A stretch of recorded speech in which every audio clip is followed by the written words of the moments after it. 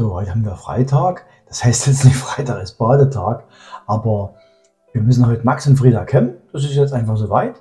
Und äh, wer es noch nicht gesehen hat, ich zeige euch jetzt mal, wie Max, ich hoffe, es funktioniert, ganz friedlich da liegt und sich kämmen lässt. Ja, und ihr werdet es kaum glauben, ich habe Max nicht erreicht, aber Frieda, die kleine Maus, guck mal. Ja, guck mal hier. Kleine Maus. So. Ja. Frieda ist auch ganz lieb. Ha? Die weiß schon, was blüht. Das tut ja nicht weh. Ja? So. Haben wir verschiedene Utensilien.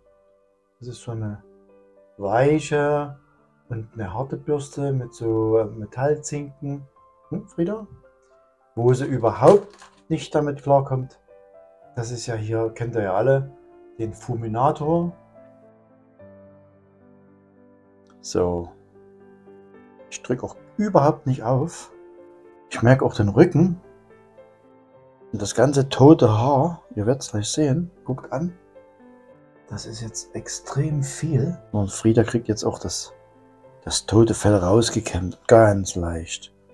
Die Frieda erinnert sich wahrscheinlich an ihre Mama, weil, ja, wenn Frieda so da sitzt und jetzt hier hinten, sagt sie am liebsten, weil die Mama, wenn die Frieda als Baby, als Kitten, wenn die aufgeregt war oder wenn Katzen aufgeregt sind, dann macht die Mama nämlich folgendes, dann leckt die nämlich. Meistens leckt die dann so. Ja, so und dann wieder das Fell glatt lecken. Das ist dann für die für die Kitten als Beruhigung. Man soll wirklich, wenn man eine neue Katze hat, einfach hier oben anfangen. Nicht gleich mit dem Fulminator. Und ihr seht auch jetzt schon, ich habe Unmengen von, von Haaren in der Hand. So. Und die Frieda und der Max, die kennen das ja schon von Anfang an.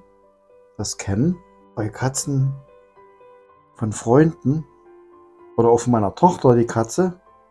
Tequila, die, die schneide ich heute mal mit rein. Das ist eine, eine ganz wilde.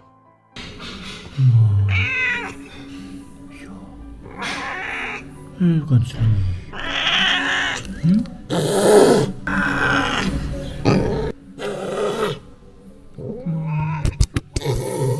Bei jedem kleinen Einsatz, was du machen willst, faucht sich die Killer an. Aber Frieda ist da ganz friedlich, ne? Guckt mal. Das ist schon ganz schön, ne? Ah, Frieda, guck mal deine, guck mal, das ist ja alles voll Haare, guck. Ja. Frieda hat die Schnauze voll. So viel ist es ja nicht gewesen, ne? Jetzt warten wir noch auf Max. Wir müssen auf Max warten. Max ist im Moment in einem kleinen Bett. Also müssen wir das Ganze vertagen.